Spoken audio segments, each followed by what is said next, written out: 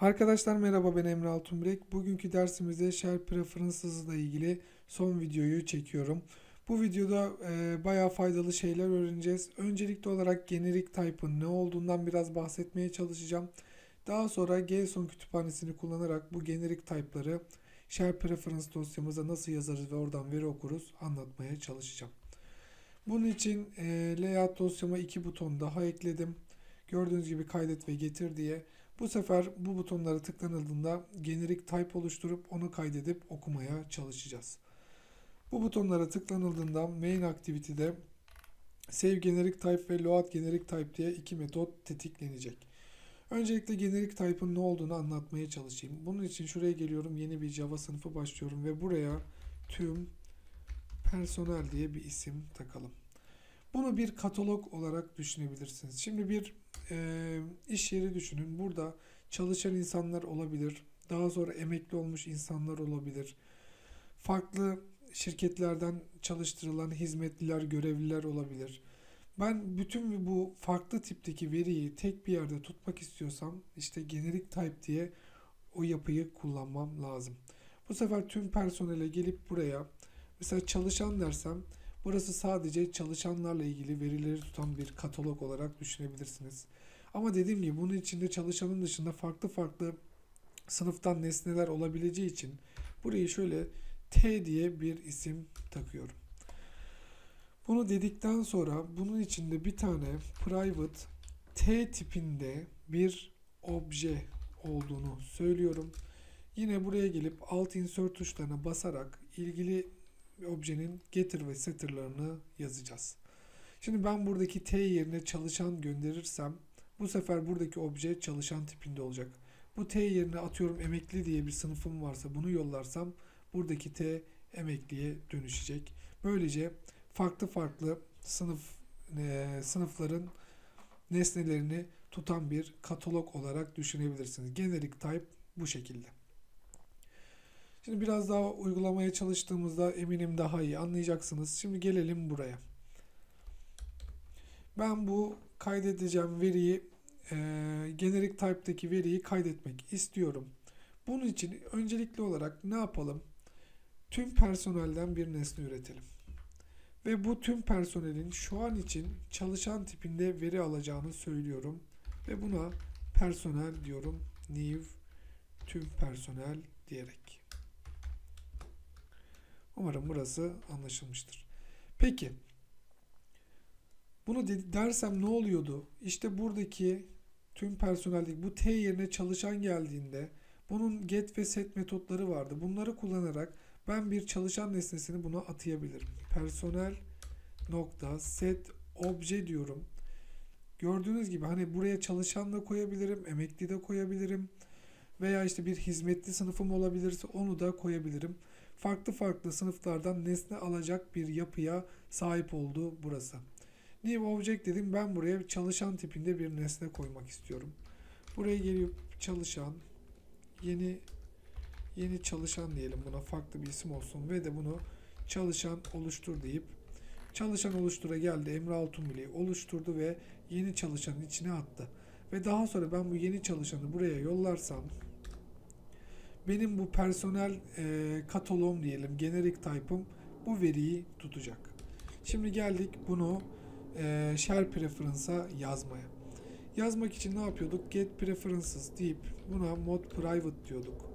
Bu bildiğiniz gibi geriye share preferences tipinde bir nesne gönderiyordu. Shared preferences tipinde bir nesne gönderiyordu. Daha sonra veri yazmak istiyorsanız editörü başlatıyordunuz. Editör diyorduk. Bu editör bu shared preference'daki dosyayı editleyecekti. Ve de son olarak işlemler yapıldıktan sonra da apply deyip değişiklikleri kaydediyorduk. Şimdi burada hatırlayacağınız gibi biz share preference'a sadece primitive type'lar koyabiliyorduk. Primitif olmayan tipler için, objeler için, generic type'lar için kullanmamız gereken bir kütüphane vardı. Neydi o kütüphane? JSON kütüphanesi. Sizde eğer direkt JSON gelmiyorsa build.gradle'a şuradaki şu satır kodu eklemeyi unutmayın. Bunu yaptıktan sonra ne olacaktır? İlgili kütüphane uygulamanıza indirilecektir. JSON deyip bunu bir başlatalım. JSON. Şimdi normalde ne yapıyorduk? Hani generic type için de kendi oluşturduğumuz bir sınıf için buradaki JSON'u kullanarak to JSON deyip benim hani şu an için bakarsanız çalışanım mı şuradaki yeni çalışanı mı vereceğim buraya yoksa personeli mi? Hani ben generik tip gönderiyorsam buradaki generik tipim ne arkadaşlar? Buradaki personel nesnem. Buradaki personeli buraya geçip daha sonra bunun da çalışan sınıfında olması olduğunu söylemem gerekiyor normalde. Hani mantıklı düşünürsek. Ama maalesef ki böyle olmuyor.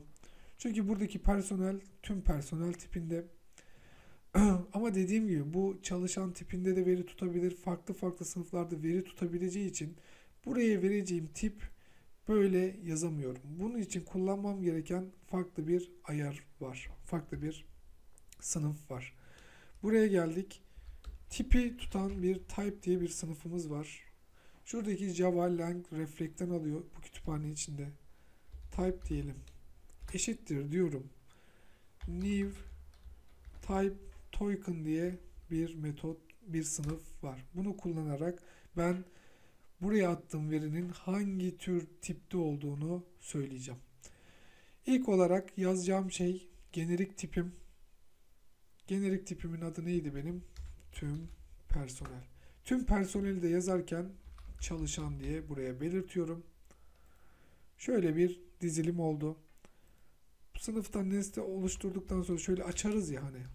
Bunu açtıktan sonra içinde herhangi bir şey yapmasak bile nokta deyip get type dersem eğer buradaki type değişkeninde benim buraya gönderdiğim verinin tipi anlaşılacak ki şu örnekte aslında ney? Çalışan. Bunun kullanımı bu şekilde.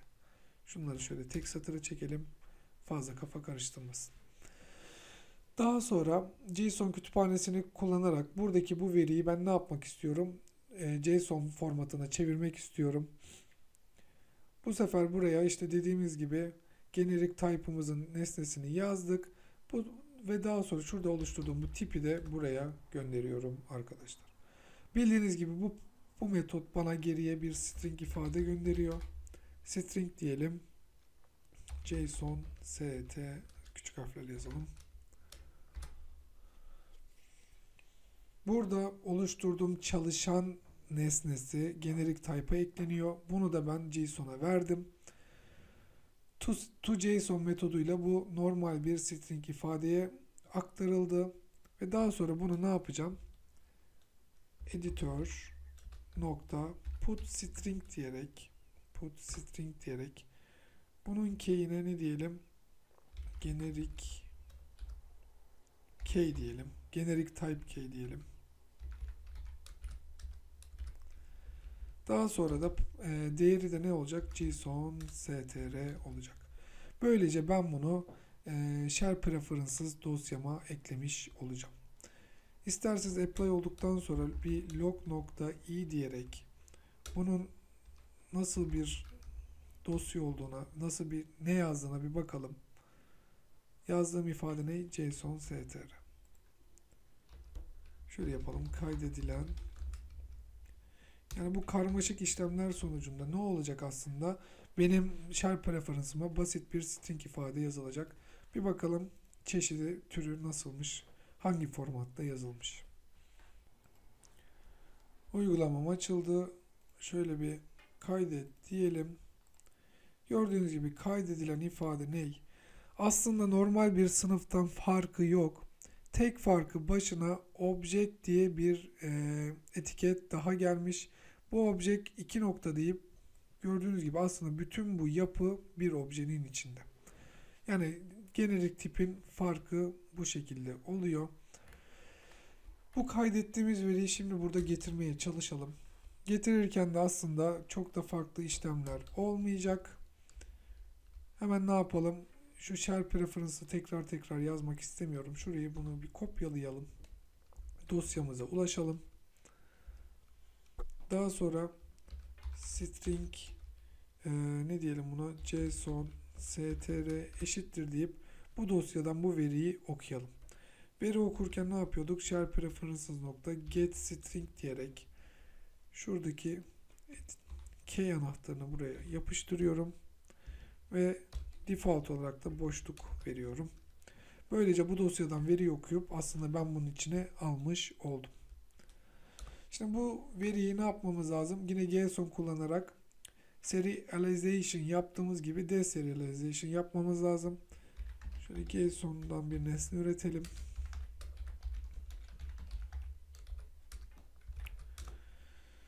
Daha sonra da JSON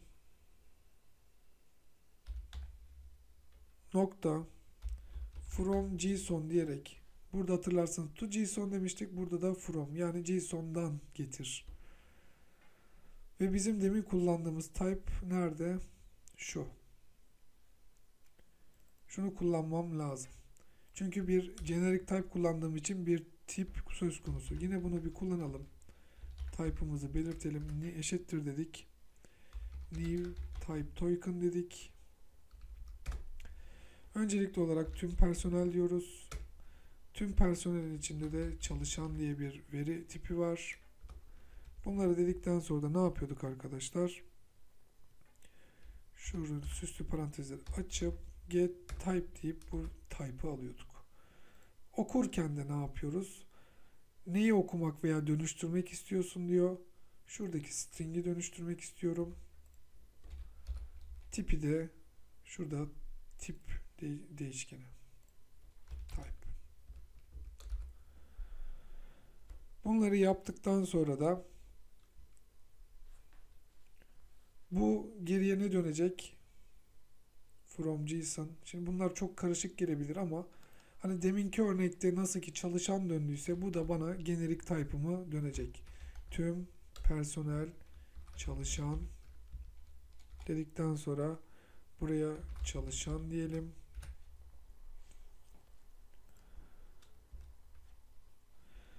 Bunun içinde de e, çalışan sınıfından bir nesne üretip çalışan eleman mı diyelim buna farklı olsun. Şimdi buradaki nesneyi kullanarak da çalışan nokta get object diyerek de bu çalışan elemanı buraya atayalım. Umarım anlaşılmıştır. Daha önce kullandığım çalışan oluştur, çalışan gösteride bunu yollayarak ekranda gösterebilirim. Çalışan göster. Çalışan elemanı da buraya yollayalım.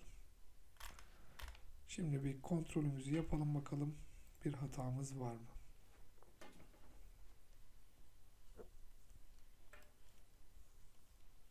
Kaydet dedim. Kaydetti. Getir dediğimde gördüğünüz gibi yine getirdi.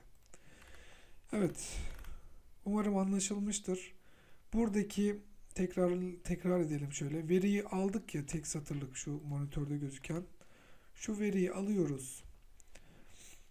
From JSON derken bunu buraya yazdıktan sonra bunu ne tür bir tipe dönüştüreceğini söylüyoruz. Tipimiz gördüğünüz gibi tüm personel ve içinde çalışan verisi tutulan tüm personel sınıfına dönüştür dedik. Bunu dönüştürdükten sonra bu nesnenin içinde bildiğiniz gibi oluştururken ne demiştik? Getir ve setter'ı vardı. Get dediğimde içinde tuttuğu, tuttuğu verinin türüyle ilgili nesneyi bana gönderiyordu. Onu da aldım. Buradaki çalışana atadım. Ve daha sonra da onu ekrana bastırdım arkadaşlar. Evet, Android'deki persist data yani kalıcı dataların ilk kısmı olan share preferences'ı e, bütün detaylarıyla öğrenmiş olduk. Bildiğiniz gibi primitive type'ları kullanabiliyorduk, saklayabiliyorduk bu dosyada. Non-primitivler için JSON'un birkaç metodunu kullanarak bu işlemi de yapabiliyorduk. Umarım anlaşılmıştır. Bir sonraki derste görüşmek üzere.